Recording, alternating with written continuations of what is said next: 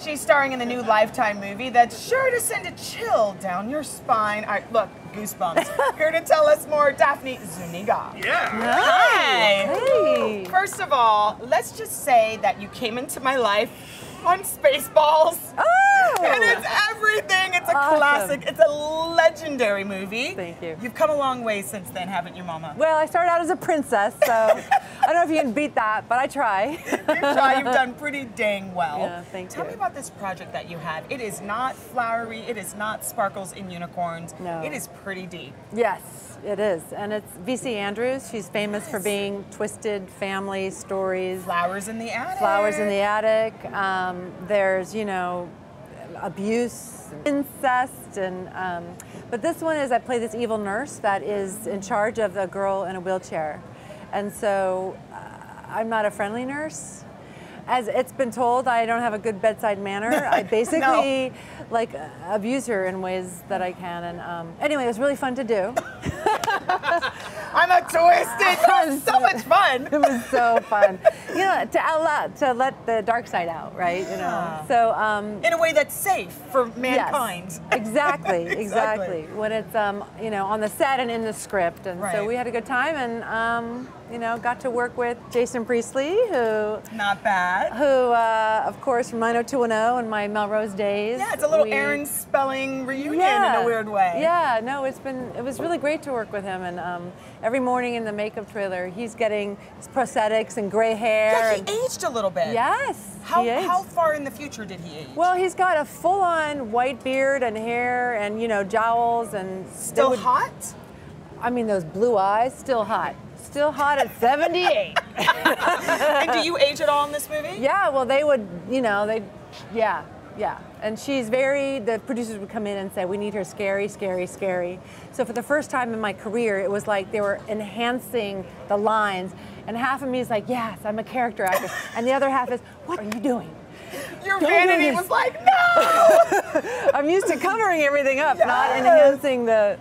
So, but it was freeing. liberating, was really say, freeing. Yeah. Just to be able to go there and once sometimes you never know what it's going to be that clicks you into that character. Sometimes wardrobe, Yes. sometimes makeup. Once that stuff was on, boom, you're in character. Oh yeah, and my hair's all pulled back in this tight bun, and the nurse's outfit, and it was really in the cardigan, and that just helped me when I'm giving her her hyperdem- hypodermic needle shots and her pills and stuff. It- Have you gotten it out your system? Yes. I just want to warn the Gone. public. Okay, good. Don't worry. Phew! But we all have, you know, that's the thing about our humans is that we have the yin and yang. So it's nice to be able to express that. You're You- so, mhm. right? You get it. You feel me. I feel you. You do because I, I, t- I tell that to people. I say it's really fun to get out your shadow side. That society, you know, we couldn't handle that. We don't. We don't. You know, as long as you're not hurting anyone, like you say, to get out that anger.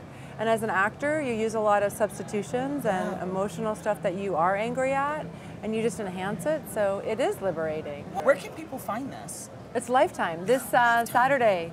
Um, it's August 17th, this Saturday at 8 o'clock, uh, 7 Central. Uh, it's called Gates of Paradise. That's an ironic title. maybe or maybe not. Yeah. There's so many reboots going on. Have you had a second to, to check out BH 90210?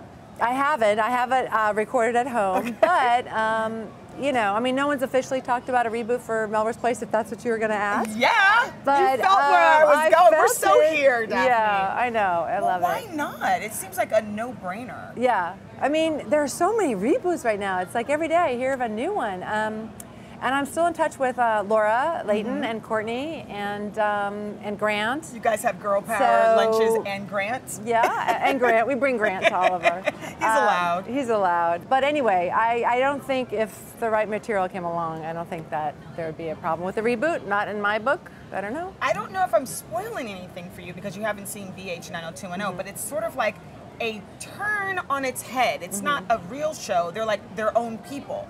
So like Jason's Jason, Shannon's Shannon, and it's like a I don't know how you would describe it. You're right. All right. Would you be down for that in a Melrose Place rendition? Yeah, Where you're Daphne. it's- sure. That'd be cool, Daphne, right? And then I gotta like pull out the old camera as Joe that never worked, and um, you know, uh, so yeah. I mean, again, I think that's a clever take on it. It is. Um, you want to do something that's not too repetitive, but you want clever in its own way. So I Mm-hmm. don't know. What we'd have to get, we'd have to get going on that. Come on, people. Start We're ready to go, Melrose Place. I love that. Yeah. You know, you're also, you're not just an actress, you've been sort of dabbling in directing. Tell Mm-hmm. me about that. So I directed my first movie, um, and it aired on Lifetime. It's going to air again this month. I think it's August 22nd or 3rd. It's called Deadly Assistant. It was a thriller. Can you tell? Someone's like likes the dark More shadow work that I was shadow. taking care of. Yes. Um, but my next one that I'm um, in prep for is a family drama, and um, that's an indie and called The Waiting Room. What, So- what, what is it for Phil for you, the directing versus the acting? You know, I started to feel in the last few years I would be doing my role and then going back to my trailer and sitting there, and I felt unused, and I felt like there was more potential in me and more creative outlet that I wanted to. I wanted to stay. So I asked an executive at Lifetime if I could shadow a show and shadow some directors. And um, Sharon Bordas, who was at Lifetime at the time, sent me on Unreal, the show at Nice, Lifetime. So. I shadowed about three directors over the course of their last season and learned so much. Yeah. And I just, I just love it. it. You are exhausted with all of your possible creativity. Now, do you think there's more for you? Like, you think you're hanging up your actress hat and doing? No, it's both. You need both. In my new one, I will be doing a small part um, of the mom. Okay, let me tell you, girl, because Denzel Washington says it's the hardest thing in the world to direct yourself. Are you ready for that? We'll see. I mean, let me tell you how Mel Brooks directs himself. Okay. Tell- Because it it's down. like he comes out, he does his song, his thing is yogurt. He's like, cut, perfect, print it, move on. So I'm gonna go with that way. Go with that way. Oh, every take was perfection, Daphne. As she talks in the mirror. I like. Yes, exactly. That's, that's what we need is a little positive reinforcement from our directors. Like Exactly, it. I like exactly. it. Well, congratulations on all your Thank you. successes. It's pretty amazing. You recently, Ah, recently got married too. I did, I did. After Like- 12 years of making sure that we loved each other and we're with each other forever, we finally tied the knot. I think that's smart. I re- Mm-hmm. I I've too. run twice, so I, I think it's smart to live and like just be in the real world together. Yes. And make a conscious decision every day to want to be together. And then go, why not? Yes, that's Right? exactly what it was. It was like I, I know that I have you forever anyway. I know that I'm committed to you forever anyway. But let's see what this feels like. There was no fear in it because we'd been together for so long and been through so much. Were Um, you scared in the beginning of more like, let's say, the seventh year of your relationship? Was it more a fear of that commitment to go all the way and that you burn that out? I think so. I think there was some fear of commitment because I never wanted to get divorced. Um, this is my first marriage.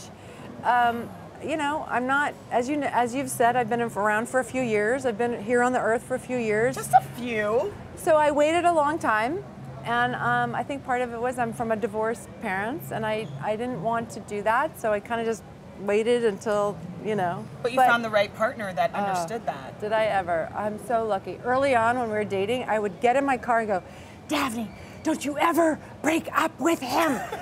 Don't ever break up with because you know I'm not you know what I mean? It's like sometimes we don't make the best choice. And I was like, don't ever. So So what was it that made him the perfect guy for you? Oh my God, he has my back. He said from day mm. one, you know, I have your back. We're on the same team. I will never betray you. That's a start, right? That's a huge start. And to be able to feel that in your soul, it's not Yeah. just words, Yeah. but action. Yeah. Is everything. yeah, and I and I feel the same for him. I just want him to be happy and healthy, and it's like our faults and our humanness and all of that. It's part of the mix.